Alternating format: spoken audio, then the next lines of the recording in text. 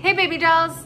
Kayci here welcoming you to my world. If you're a regular, then welcome back. If you're new here, then don't forget to hit the subscribe button for weekly content.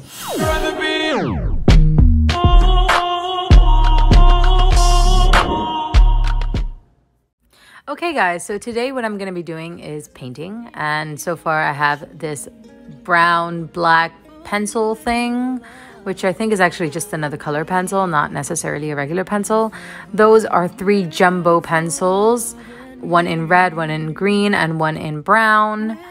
And then I've got a brush for these watercolor marker things. Not exactly sure what they are. Everything came from Scrawlrbox, by the way, which I actually don't have an active subscription to that anymore, but that is where that came from if you need to know. So today what I'm going to be doing before actually starting any drawing is testing out these watercolor thingies because I don't really know what they are. I thought it was going to be like actual paint that split out of the marker, but it kind of just seems like a regular marker. I think you have to wet the brush in order to actually play with the color, which I figured that for today I just did not want to do. I just wanted to kind of draw and use the marker as a marker. So we are drawing a Witchy OC character today, but you already know that because that's the title of this video. I started off with a witch hat, as you can see, and then I drew a little a little face, and I ended up liking the face more than I liked the actual witch hat. And so that is what you will see me playing around with, just seeing what looks better and what I like and what I don't like until I come to some kind of a silhouette and conclusion that I end up really vibing with.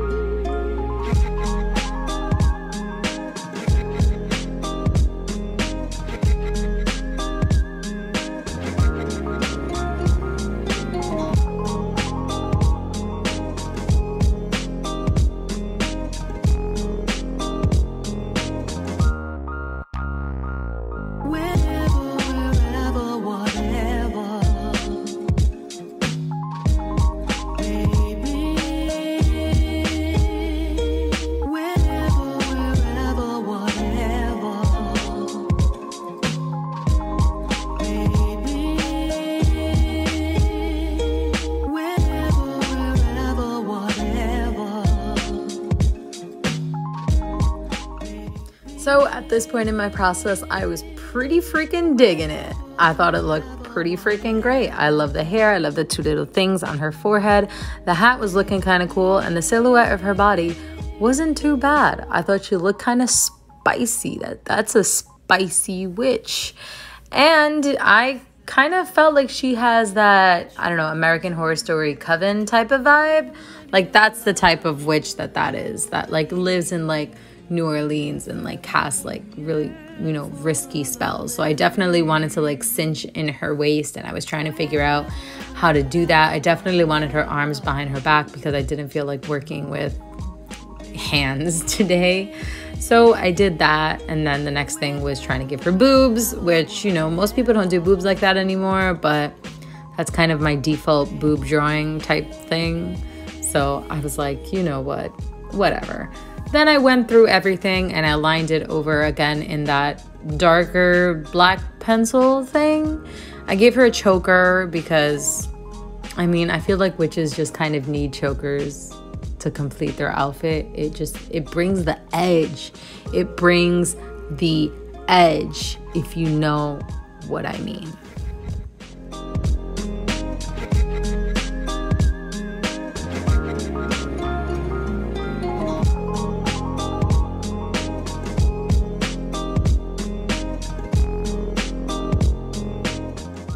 And here things are getting interested. I was like, you know what? She's spicy. She already looks spicy. I'm gonna give her red hair, or I want her hair to pop. So I outlined it in red because originally what I wanted to do was something orange, but I didn't have all my other color pencils, so I couldn't do that. So I outlined it in red and then I took the yellow watercolor marker and went very close to that edge and it kind of created this like orange kind of effect because the marker was grabbing hold of that color pencil color and so it looked like it was kind of bleeding into the yellow which created this cool like fiery almost ombre type of effect which I really vibed with. I thought, yeah, I this girl is definitely a fire sign.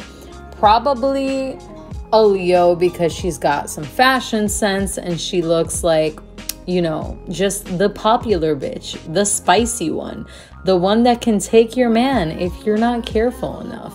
That is this bitch. And I was really vibing with it. And then I really liked the way that red looked and I wanted to put more.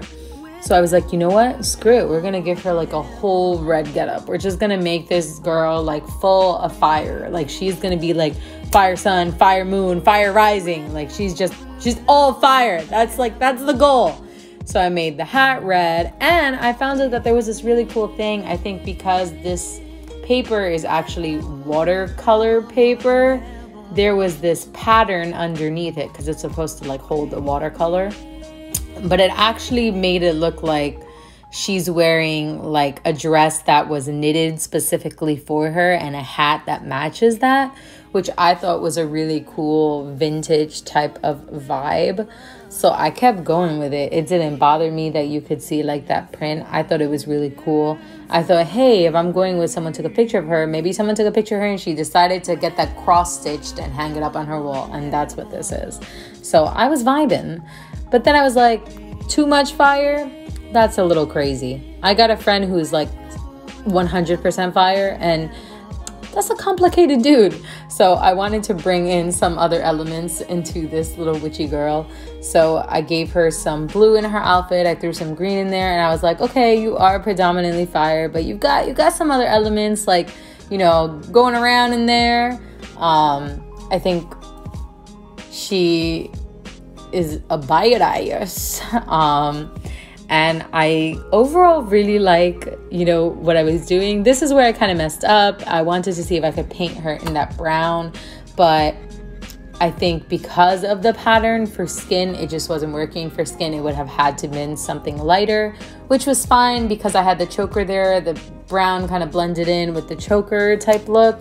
So then it just looked like she was super vintage. Like she was one of those ladies that had like a turtleneck and then layered the dress underneath. Like Best Dress does that and it's fire. So I was like, you know what? She looks even spicier. We're living for this queen.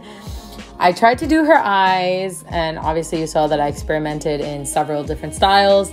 And uh, yeah, I ended up just going with normal eyes, pretty normal nose. And uh, and I ended up really liking her. Like even though she was so full of fire, there was something like innocent and childlike about her, which I really liked for a witch. Almost like she's like you know, brand new addition to the coven who's still kind of learning the ropes, but she's really fucking happy that she's even part of the coven. And then there was some more coloring in that I had to pull colors out from somewhere else. So I was like, we'll do that later. Now I just want to outline the background. And what I ended up doing was making this look like a picture that was just taken purposefully on a diagonal. That's why her eyes don't necessarily look like they're looking in a different direction and I went with like a city type background that was completely diagonal. So it's basically like a picture on a diagonal, which I think is pretty fire. I think that it looks really nice for her aesthetic and like, you know, the way that this, you know, girl predominantly fire seems to interact with the world. I think it's a perfect style for her and this was also around the time that I came up with the name um, Emma Juliana. I was like, this new witch addition to the coven. Her name is Emma Juliana, and she is a badass and worky girl. so then I was just playing around with the background and, you know, doing this and that.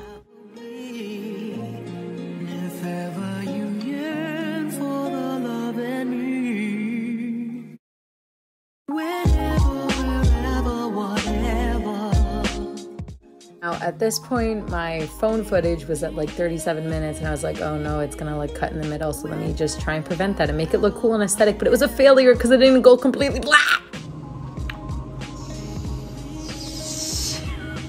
I tried to make that look as smooth as possible. But this is Emma Juliana. This is the final result. Put a little closer to the camera. Yeah, I'm really proud of her. It looks like I didn't paint her skin, but I did. It's just light, which I said was the whole point. Her eyes are green now, which I really dig. I kind of really love it. It does look like she's in a city and she's a brand new witch and she's really freaking pretty. I'm really proud of this and I'm so happy that you came along on my character creation journey with me. If you've made it this far in the video, then please comment a yellow heart emoji. Emoji, emoji, emoji.